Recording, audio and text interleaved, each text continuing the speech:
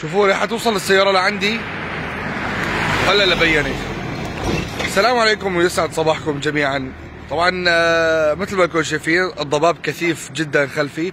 آه، طبعا المراصد والمهندسين اللي بيتبعوا الأرصاد الجوية بيحذروا كثير من موضوع الضباب خاصة في المنطقة المحرمة. مثل ما أنتم شايفين لك السيارة وصلت لهون. ولسه عم مبينه بسبب الضباب.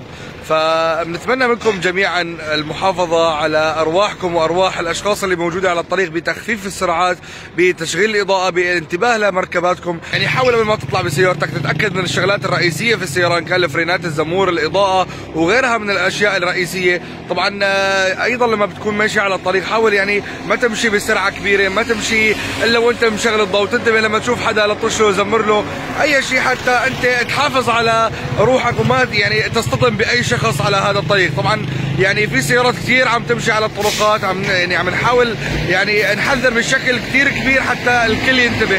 طبعا فرق الإنقاذ والدفاع المدني موجودين على الطرقات. أنا صادفت إن أكثر من مرة كل ما بمشي يعني 2 3 كيلو متر عم لاقي سيارة للدفاع المدني موجودة على الطريق. حتى يعني لا قدر الله إذا صار شيء يكونوا موجودين.